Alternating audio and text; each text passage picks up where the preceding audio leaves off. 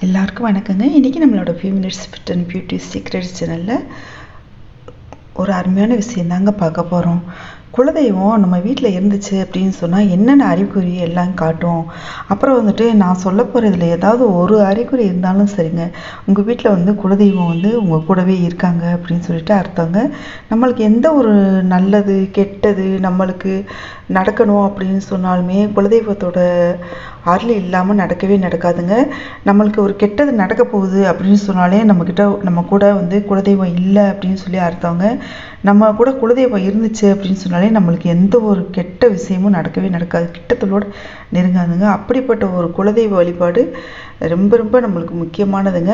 அடுத்து பார்த்தோம் அப்படின்னு சொன்னால் நம்ம எந்த கோவிலுக்கு போனாலும் சரி எந்த தெய்வத்தை வணங்கினாலும் சரி குலதெய்வ அருள் இல்லாமல் வந்து நம்மளோட வேண்டுதலை எந்த தெய்வமும் ஏற்றுக்கொள்ள மாட்டாங்க. விஷ்ணு புராணத்துலேயும் சரி சிவபுராணத்துலேயும் சரி இருக்குது அப்படின்னு சொல்லி பெரியவங்க சொல்லுவாங்க. குலதெய்வ வழிபாடு எந்த ஒரு மனிதர்களும் பண்ணாதவங்களோட வேண்டுதலை வந்து நான் ஏற்றுக்கொள்வதில்லை அப்படின்னு சொல்லிட்டு இருக்குது சிவபுராணத்துலேயும் விஷ்ணு புராணத்துலேயும் இருக்குது அப்படின்னு சொல்லிட்டு சொல்லுவாங்க. அது மாதிரி பாருங்களேன் நம்மளுக்கு எந்த ஒரு நல்ல விஷயம் நடக்கணும் அப்படின்னு சொன்னாலே குலதெய்வம் நம்ம கூட இருந்தாலே போதுங்க. வாழ்க்கையில் நம்ம நம்ம வாழ்க்கை வந்துட்டு ஒரு நல்ல ஒரு சந்தோஷமாக நம்மளுக்கு எடுத்த காரியத்தில் எல்லாத்துலேயுமே வெற்றியாக அவ்வளோ ஒரு ஸ்மூத்தாக போய்கிட்டே இருக்குங்க. ஒரு சிலர் பார்ப்பீங்க இவங்களுக்கு மட்டும் எப்படி எத்தனை ஒரு கிரக பயிற்சிகள் சனி பயிற்சி குரு பயிற்சி ராகு கேது பெயர்ச்சி எது நடந்தாலும் இவங்க மட்டும் சந்தோஷமாக இருக்காங்களே. நம்மளுக்கு வந்துட்டு கஷ்டத்து மேலே கஷ்டம் வந்துக்கிட்டு இருக்கே அப்படின்னு சொல்லு. நினைப்பீங்க. அது என்ன அப்படின்னு சொன்னால் அவங்களுக்கு வந்து குலதெய்வ அருள் வந்துட்டு அதிகமாக இருக்குது குலதெய்வம் கூடவே இருந்து அவங்கள வழி நடத்துது அதனால தான் அவங்களுக்கு வந்துட்டு எந்த கெட்ட நேரம் வந்தாலும் அவங்கள வந்து பாதிக்கிறது கிடையாது. அவங்க வந்து எப்போவுமே நல்லாவே இருக்காங்க அப்படின்னு அர்த்தங்க. அந்த குலதெய்வ அருள் மட்டும் இருந்தாலே போதுங்க. நாம் வந்து எந்த ஒரு காரியத்துலேயும் நம்ம துணிஞ்சு இறங்கலாம். எந்த ஒரு காரியத்திலும் நம்மளுக்கு சக்ஸஸ் தாங்க. அப்படிப்பட்ட ஒரு குலதெய்வ வழிபாடு பார்த்தீங்கன்னு சொன்னால் நம்ம தொடர்ந்து பண்ணிக்கிட்டே வர்றது ரொம்ப நல்லதுங்க.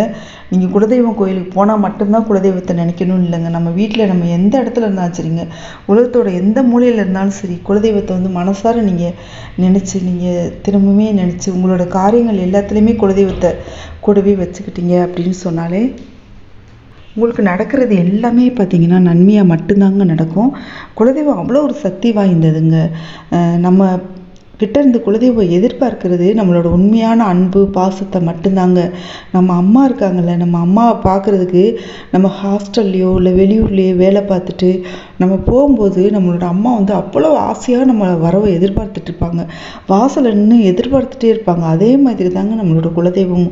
என்னோட பிள்ளை வந்துருச்சே என்னோட குல குலமக்கள் எல்லாம் வந்துட்டாங்களே அப்படின்னு சொல்லிட்டு அவ்வளோ ஒரு சந்தோஷப்படுவாங்க. நீங்கள் என்ன வாங்கிட்டு வர்றீங்க? என்ன செய்ய போகிறீங்க அதையெல்லாம் எதிர்பார்க்கவே மாட்டாங்க. உங்களோட உண்மையான அன்பு பாசம் மட்டும்தாங்க உங்களோட குலதெய்வம் எதிர்பார்க்கிறது. எனக்கு ஐயோ குலதெய்வத்துக்கு செய்கிறதுக்கு வசதி இல்லாமல் போச்சுன்னா நீங்கள் கவலைப்படவே தேவையில்லை. உங்களோட குலதெய்வம் பார்த்தீங்கன்னு சொன்னால் உங்களோட மனசையும் உங்களோட அன்பு பாசத்தை மட்டும்தாங்க எதிர்பார்க்குது. அதனால் பாருங்கள் நீங்கள் வீட்டில் இருக்கும்போதும் சரி நீங்கள் வாழ்க்கையில் எப்போவாச்சும் உங்களுக்கு எந்த டைம் கிடைச்சாலும் சரி நீங்கள் குலதெய்வம் கோயிலுக்கு போயிட்டு வந்துடுறது ரொம்ப ரொம்ப நல்லதுங்க. இன்றைக்கி நம்மளோட பதிவில் என்ன பார்க்க போகிறோம் அப்படின்னு சொன்னால் இந்த மாதிரி நீங்கள் வழிபாடு பண்ணி பாருங்கள் உங்களை வந்து எந்த ஒரு கெட்ட விஷயமும் கிட்டத்தில் கூட நெருங்காதுங்க.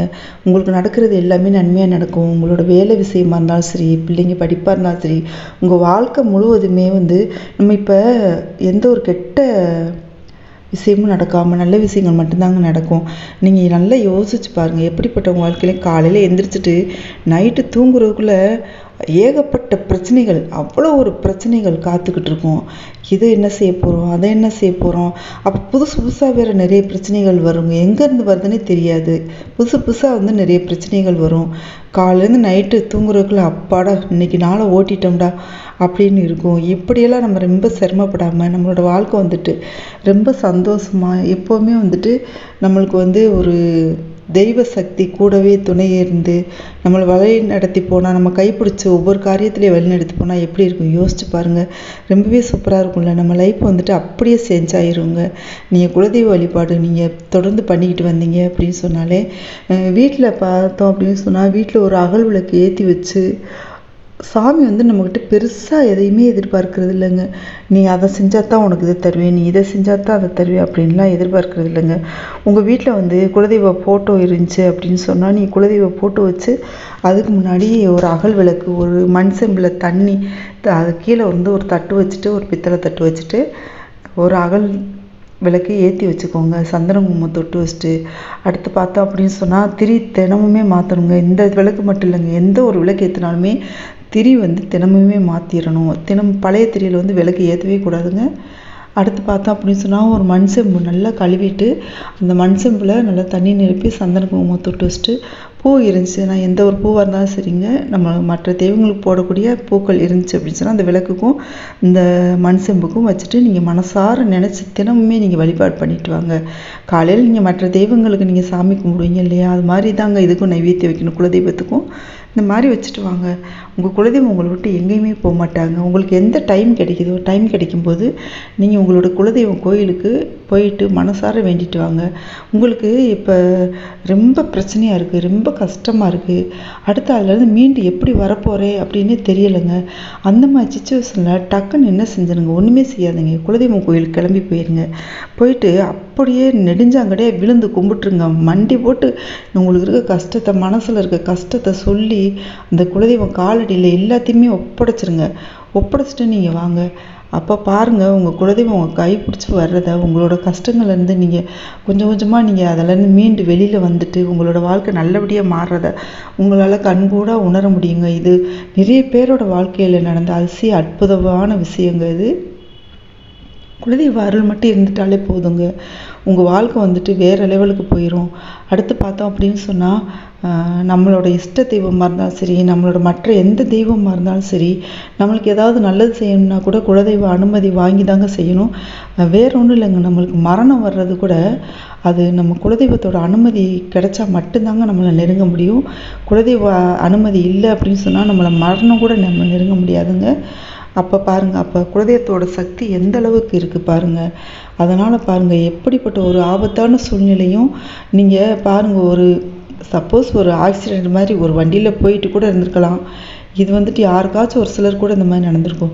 அந்த கடைசி நேரத்தில் வந்து நீங்கள் தப்பிச்சிருப்பீங்க. ஒரு சின்ன ஒரு எந்த பிரச்சனையும் இல்லாமல் நீங்கள் வந்து தப்பிச்சிருப்பீங்க. இதெல்லாம் எதனால அப்படின்னு சொன்னால் உங்களுக்கு குலதெய்வ அருள் முழுசாக இருக்குது நீங்கள் குலதெய்வத்தை வந்து வழிபாடு பண்ணிக்கிட்டு இருக்கீங்க அப்படின்னா நீங்கள் அந்த உங்களுக்கு பெரிய ஏதோ ஆபத்து நேரமாக அந்த கடைசி நேரத்தில் வந்துட்டு அந்த கடைசி நொடியில் நீங்கள் வந்து தப்பிச்சிருப்பீங்க. அந்த அளவுக்கு வந்துட்டு குலதெய்வம் வந்துட்டு உங்களை கட்டி காப்பாற்றுங்க நீங்கள் குலதெய்வ வழிபாடு மட்டும் பண்ணிக்கிட்டு வந்தீங்க அப்படின்னு சொன்னால் உங்களை வந்துட்டு ஒரு கவசம் ஒரு பாதுகாப்பு கவசம் உங்கள் குடும்பத்துக்கே வந்துட்டு ஒரு பாதுகாப்பு கவசம் உங்களோட எந்த ஒரு காரியத்துலேயுமே வந்து குலதெய்வம் குலமக்களை காத்து நிற்கவங்க நீங்கள் தொடர்ந்து இந்த மாதிரி நீங்கள் வழிபாடு பண்ணிக்கிட்டே வந்தீங்க அப்படின்னு சொன்னாலே நீங்கள் வீட்டை விட்டு வெளியே கிளம்புனீங்களா? காலையில் எந்திரிக்கிறீங்களா? மனசார முதல்ல வந்து விநாயகர் மனசில் நினச்சிக்கோங்க. நினச்சிட்டு அடுத்து நம்ம குலதெய்வங்களை மனசார வேண்டிக்கோங்க.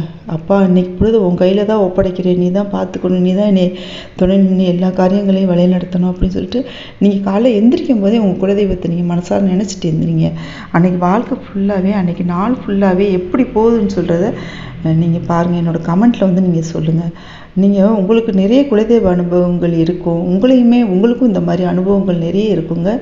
உங்களோட மேலான கருத்துக்களை எனக்கு வந்து கமெண்ட்டில் தெரியப்படுத்துங்க. உங்களோட குலதெய்வ அனுபவங்கள் இது எல்லாமே உங்களோட குலதெய்வம் என்ன அப்படின்னு சொல்லிட்டு என்னோட கமெண்ட்டில் வந்து தெரியப்படுத்துங்க. இந்த மண் செம்பில் தண்ணி வைக்கிறதுன்னு சொன்னேன் இல்லையா? இது வந்து சாதாரண விஷயம் இல்லைங்க. உங்கள் குலதெய்வத்தையே உங்கள் வீடு தேடி ஓடி வர செய்யக்கூடிய ஒரு அற்புதமான விஷயங்க. நம்ம பிள்ளை நம்மளை நினச்சிருச்சு நம்மளோட குலமக்கள் நம்மளை நினச்சிட்டாங்க நம்ம போயே ஆகணும்னு சொல்லிட்டு நம்மளோட அன்புக்கும் பாசத்தை கட்டுப்பட்டு எங்கே இருந்தாலும் நம்ம குலதெய்வம் நம்மளை தேடி ஓடி வந்துருங்க. கடகடன் வந்து சேர்ந்துடும் நம்மக்கிட்ட அடுத்து பார்த்தோன்னு சொன்னால் நம்ம குலதெய்வ கோயிலுக்கு போகிறோம்னு வச்சுக்கோங்க. வெறுங்கையை வீசிட்டும் போகக்கூடாதுங்க. நம்ம சக்திக்கு ஒரு விளக்கு வாங்கி ஏற்ற முடியுமா? அப்புறம் வந்துட்டு நம்ம தெய்வத்துக்கு ஏதோ ஒரு பெருசாக பொங்கல் போட்டு படையல் போட முடிஞ்சால் நீங்கள் செய்யலாம். அப்படி இல்லை அப்படின்னு சொன்னால் நீங்கள் ஒரு சர்க்கரை ஒரு தேங்காய் வாழைப்பழம் வாங்கி வச்சு கூட நீங்கள் வந்து சாமி கும்பிட்டு வரலாம். ஒரு அகல் விளக்கு ஏற்றி வச்சுட்டு வரலாம். உங்களால் என்ன முடியுமோ நீங்கள் பெருசாக நீ அதை செய்யணும் இதை செய்யணும்னு சொல்லிட்டு நம்மளோட குலதெய்வங்களை எதிர்பார்க்கறது கிடையாது. அதான் நான் சொன்னேன் இல்லையா உங்ககிட்ட இருந்து வர உண்மையான அன்பு பாசம் நம்ம கு நம்ம குலமக்கள் நம்மளை நினைக்கணும் நம்ம மண்ணுக்கு வரணும் அப்படிங்கிறது தாங்க நம்ம குலதெய்வங்கள் எதிர்பார்க்குறாங்க. நீங்கள் இதெல்லாம் செஞ்சுட்டு வாங்க உங்கள் குலதெய்வம் பாருங்கள் உங்கள் கூடவே இருந்து வழி நடத்துகிறத அந்த தெய்வ சக்தி உங்கள் கூடவே இருக்கிறத உங்களால் கட்டாயமாக உணர முடியுங்க. உங்களுக்கு இந்த பதிவு பிடிச்சிருந்துச்சி அப்படின்னு சொன்னால் நம்ம சேனல் இது வரைக்கும் நீங்கள் சப்ஸ்கிரைப் இல்லைன்னா சப்ஸ்கிரைப் பண்ணிக்கோங்க. லைக் பண்ணுங்கள் நீங்கள் பண்ணக்கூடிய ஒவ்வொரு லைக் தான் எனக்கு பண்ணக்கூடிய ஒரே ஆதரவு சப்போர்ட் ஸோ இந்த வீடியோ பிடிச்சிருந்துச்சுன்னா லைக் பண்ணுங்கள் அப்புறம் உங்களோட ஃப்ரெண்ட்ஸ் அண்ட் ஃபேமிலிக்கு ஷேர் பண்ணுங்கள் உங்களோட மேலான கருத்துக்களை நம்ம சேனலில் தெரியப்படுத்துங்க. கமெண்ட்டில் வந்து பதிவு பண்ணுங்கள் நன்றி வணக்கம். நம்ம இன்னொரு பதிவில் சந்திக்கலாமா?